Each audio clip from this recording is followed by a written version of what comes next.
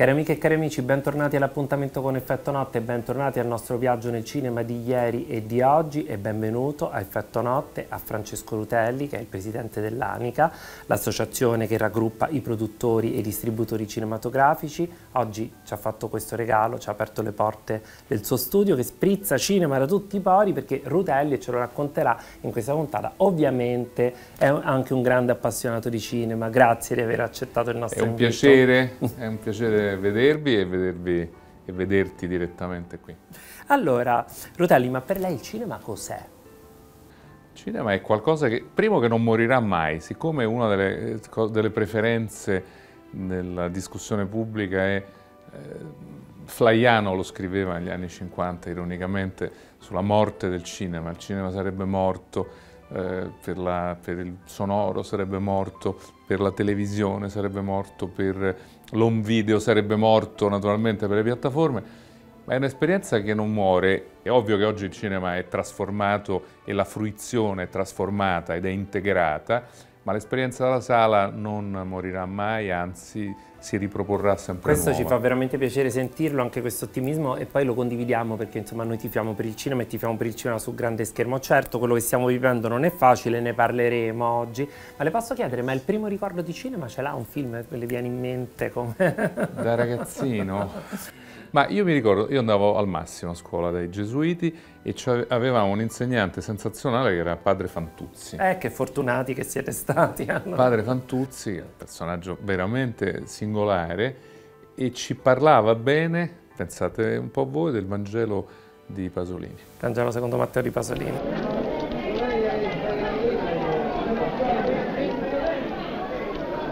Con quale autorità fai tu queste cose? E chi ti ha dato tale autorità? Anch'io vi farò una sola domanda.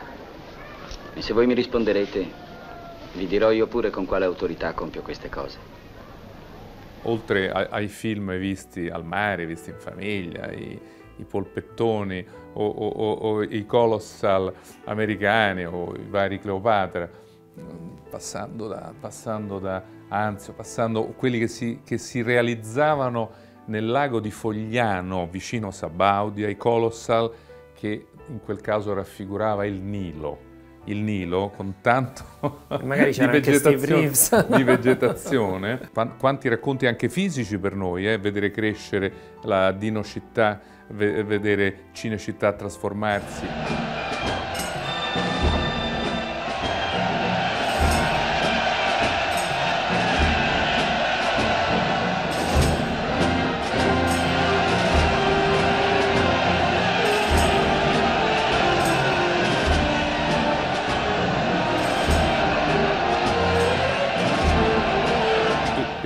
Per me, che ero ragazzino che abitavo all'Eur, avere nell'Eur uno degli scenari preferiti per il cinema, eh, sino alle celebri tentazioni in cui Peppino De Filippo eh, perde il senno davanti alla prosperosa Anita Ekberg nell'episodio felliniano no? Della, delle tentazioni.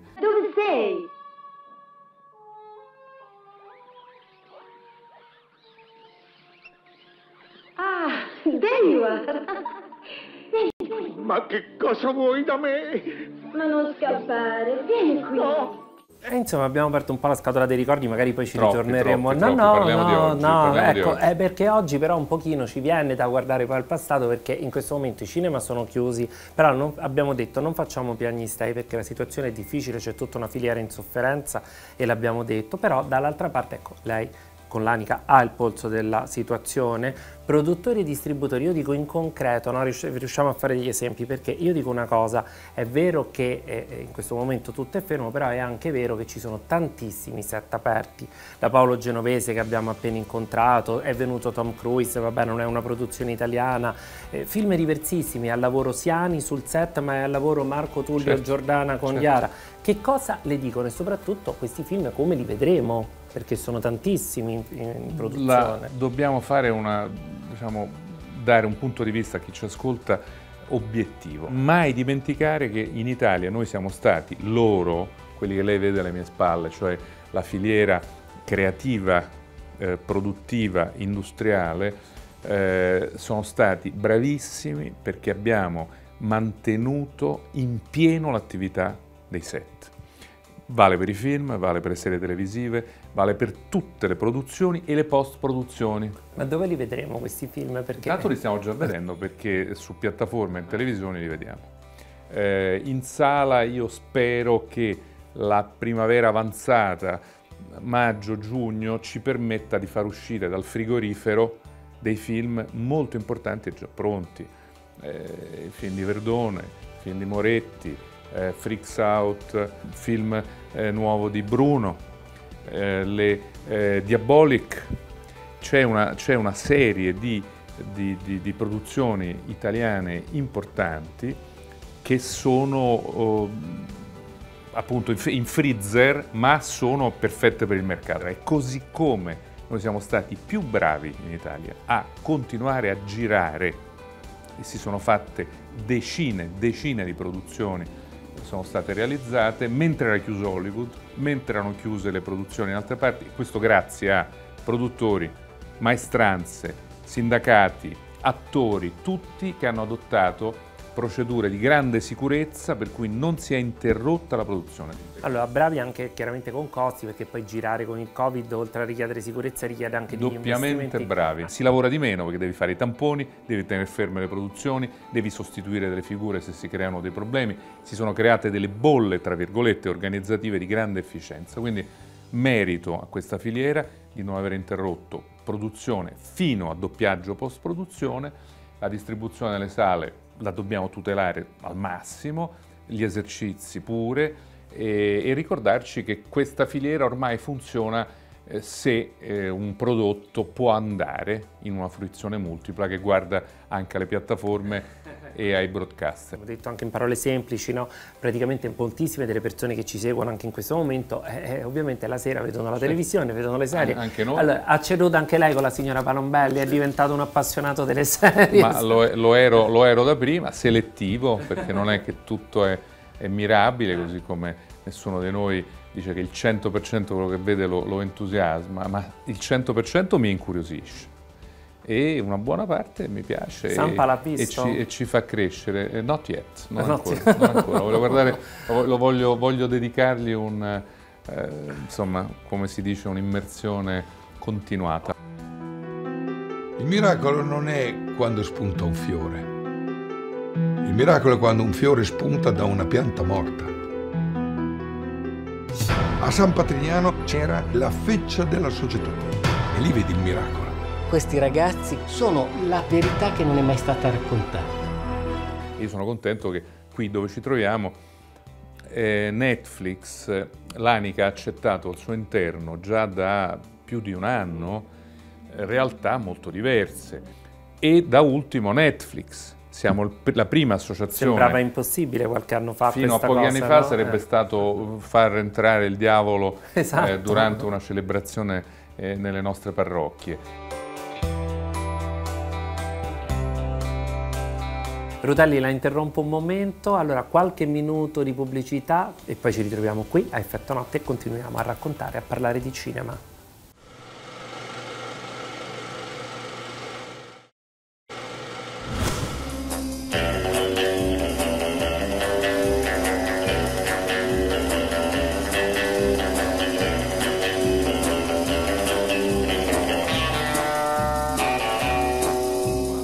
Torniamo al cinema che chiaramente è la nostra passione comune. Mi hanno detto che lei è un grande appassionato di James Bond, di 007. Allora ora mi deve dire qua, vabbè, diciamo sempre in genere Sean Connery quando si pensa, però magari mi stupisce non è quello, se c'è un titolo della serie in particolare. Che... No, ma io ero innamorato della signora Broccoli. la produttrice, quindi andava bene perché hanno fatto un impero.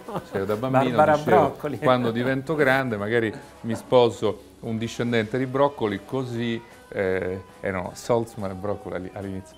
Così magari rimediamo una Aston Martin di quelle che hanno i rostri volanti o, o l'elicottero o il mini elicottero dell'epoca. Beh, insomma, eh, ragazzi, il film d'azione unisce la famiglia e non ci... Non... È chiaro che io amo molto il cinema che fa riflettere, però anche il cinema che fa rilassare, divertire.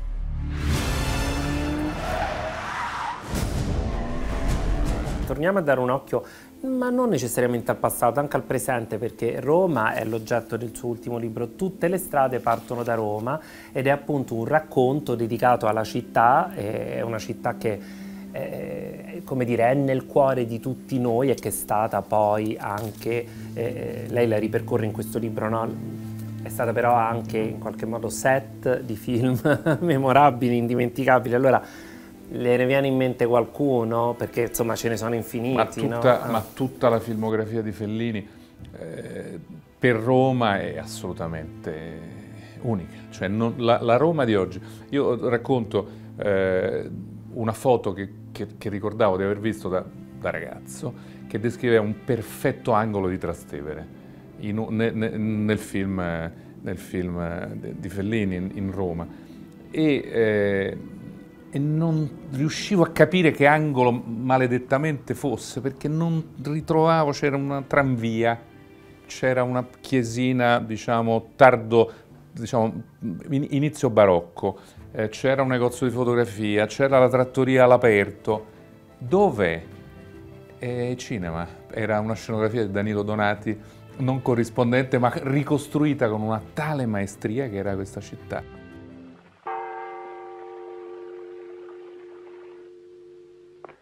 Questa signora che rientra a casa costeggiando il muro dell'antico palazzetto patrizio è un'attrice romana, Anna Magnani, che potrebbe essere anche un po' il simbolo della città. Che so io? Una Roma vista come lupa e vestale, aristocratica e stracciona, tetra, buffonesca, potrei continuare fino a domattina. La Federica, va a dormire, va. Posso farti una domanda? No, non mi fido, ciao. Buonanotte. Però voglio parlare del presente perché il ministro Franceschini ha annunciato una cosa molto importante che è il raddoppio di Cinecittà.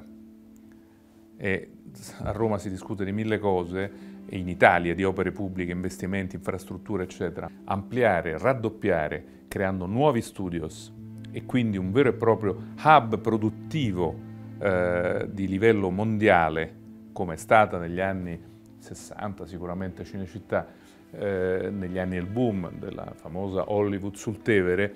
Comunque, diciamo, questo è bello ascoltarlo perché, e soprattutto per questo, perché un raddoppio di questo tipo vorrebbe dire veramente lavoro per tantissime persone, sì. soprattutto per quelle maestranze che hanno sofferto e stanno soffrendo tanto. Anche tu come gli altri non vuoi mangiare? No, no, io mangio. La ringrazio. Non protesti? Io non vorrei che mi punissero adesso che ho trovato l'avvocato e che devo essere interrogato dal giudice. La ringrazio infinitamente. A proposito di Roma, anche Alberto Sordi, tra l'altro lo vediamo qui in queste belle foto nello studio. Io ho un ricordo di questa giornata per gli 80 anni di Sordi in cui è stato sindaco per un giorno, no? Come è andata? Aveva dato la fascia di sindaco a Sordi. Io gliel'avevo promesso, eh, lui ed io siamo, dico, lo uso, uso il presente non impropriamente. Lui nasce il 15 giugno, io il 14 e fece, negli ultimi anni della sua vita festeggiavamo insieme, festeggiavamo, festeggiavamo con eh, Perilli, via Marmorata, Cannavota, piazza San Giovanni, vicino casa sua. L'itinerario di Sordi vicino a casa sua era casa sua, Dru, via Druso, poi sotto le, le monache eh, davanti San Sisto Vecchio, che lui diceva ma stanno sempre a fare sti lavori, poi gli dava un sacco di soldi falsamente accusato di avarizia, gli dà un sacco di contributi per aiutarli perché fanno tuttora delle attività benefiche importantissime. Dicevano, stanno sempre con queste gru, con questi cantieri, non mi fanno dormire. Poi non lo facevano dormire le automobili che passavano. Tu, sindaco, Roma non fu fatta per le automobili. Ho capito Alberto, non le passiamo. Allora, insomma, morale della favola. Una, una, sera in uno di questi compleanni, e poi l'itinerario era eh, il battistero di San Giovanni Laterano, dove lui andava a messa e, dove si tenevano, sono tenute tante eh, cerimonie di, di, ricordo di, di Alberto. E Cannavota, ristorante su piazza San Giovanni Laterano, tipica trattoria romana. Insomma, in una di queste feste di compleanno misto, per cui a mezzanotte si festeggiava lui, prima me, alla sera del 14, a mezzanotte la, tor la torta con candelina di sordi che mi diceva, Francesco, ricordate che sei più vecchio perché sei nato nel 14. Quindi finiva, era, era, era una... Eh, insieme a questa che ho detto, va bene, allora per tutte le cose che tu mi chiedi, togliere le macchine, l'anno prossimo ti faccio un regalo. Quale? Non lo so, erano i 79 anni. E pochi mesi prima gli dissi, per un giorno sei sindaco, puoi fare quello che vuoi. Però, però fu una festa meravigliosa, mi, mi commuovo ancora a pensarci.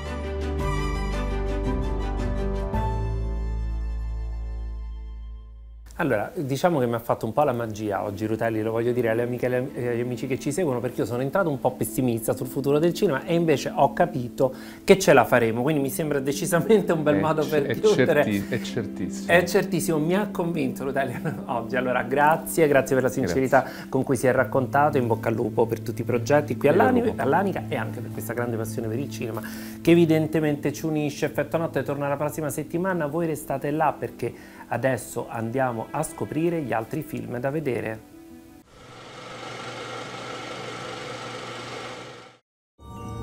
Mamma! Porca paletta. E chi è? Maleficent? Ragazzino, se proprio vuoi saperlo, io sono la marchesa Elena Maria Thun Hohenstein. Tu cosa? Tu Allora Fidenzio diceva il vero. Ma tu in questo film sei cattiva, ma com'è sta cosa? Qui il pubblico gli prenderà un colpo, com'è questa cosa? Me la spieghi? Eh, guarda, quando Samuele ed Emanuele mi hanno contattato sono rimasta anch'io un po' perplessa, ma Samuele mi ha detto io vorrei tirarti fuori dal cliché che magari il pubblico si aspetta da te, di donna vivace, spumeggiante, eccetera. Voglio una nonna cattiva ma non mh, macchiettistica, quindi devi convincerti dentro di avere questo carattere, questa arroganza, questa ehm, impetuosità, questo carattere pessimo che però è dettato anche eh, dal grandissimo amore nei confronti di questo nipote che ha una malattia per la quale suo marito, cioè il mio, sarebbe morto e quindi lei vuole assolutamente evitare che la stessa cosa succeda a suo nipote. Non uscire mai. Disciplina. Rinunciare a tutto, non avere amici. E questo allora? Eh? È stato tanto tempo fa. Tuo nonno non voleva rinunciare a niente, come se non fosse malato. Io ero giovane, ero anche molto innamorata. L'ho seguito in tutto. Ma ho sbagliato. Ma eri felice, guarda. E a che cosa è servito, eh? Solo a lasciargli troppa libertà ignorando tutti i rischi che correva. È tornare a recitare che mi interessa perché voglio camminare sotto braccio alla mia età. Vorrei non inseguire il giovanilismo che comporta fare del varietà. Varietà non so perché rispetto a noi donne o anche la canzone, no? Zucchero, eh, Vasco Rossi, tutti si possono permettere di fare i rocchettari a 60 anni, 62, 63, se lo fa una donna, adesso non dico rocchettara, ma comunque che si mette a cantare, dice Madonna, ancora sto brontosauro.